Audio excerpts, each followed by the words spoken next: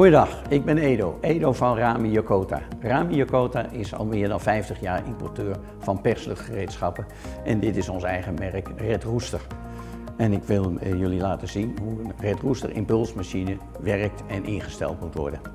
Impulstechniek zorgt voor een nauwkeurig instelbaar koppel, hoge herhandelkeurigheid, licht, snel, uh, reactievrij en minimale zetverliezen. De minimale zetverliezen zorgen er ook voor dat de voorspankracht 10 tot 15 procent hoger ligt dan bij lineair aangedreven machines.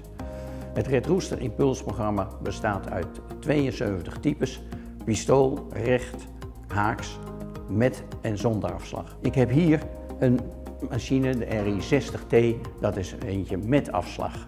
En ik zal jullie nu laten zien hoe dat werkt. Het instellen doe je als volgt. Je zorgt eerst dat de lucht eraf is. Daarna schroef je de inbus zodat je kan kijken waar de instelschroef van het impulsmechanisme zit. Op het moment dat je die gevonden hebt, kan je hem instellen door rechtsom draai je hem dicht, dus stel je het koppel hoger. Linksom draai je hem open, stel je het koppel dus lager in. Als je het ingesteld hebt, en dat doe je op gevoel, dan schroef je dus het inbusje er weer op en sluit de lucht aan. Laat de machine even pulsen, zodat olie zich kan zetten. En daarna maak je de verbinding. Je ziet dat het duurt enkele seconden.